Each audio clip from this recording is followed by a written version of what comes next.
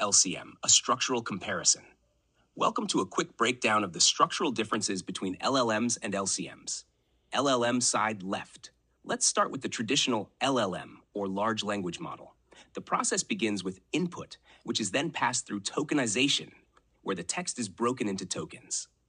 Next comes embedding, converting these tokens into numerical vectors the model can understand. These vectors are processed by a transformer, the core architecture behind LLMs, to generate contextual understanding. Finally, the result is the output, a prediction or generation based on the input. This linear pipeline is powerful but largely fixed in its structure, L side right. Now, let's look at the LCM, or language composition model.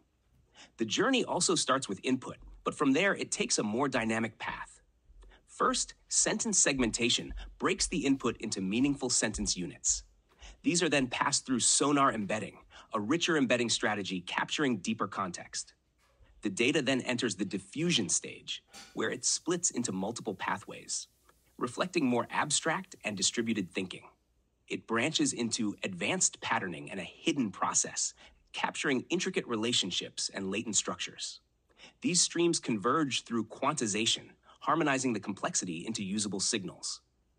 Finally, the model produces the output, now shaped by a more layered and adaptive architecture.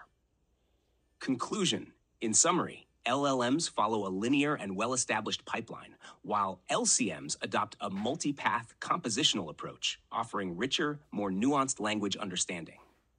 This evolution marks a significant shift in how AI comprehends and generates language.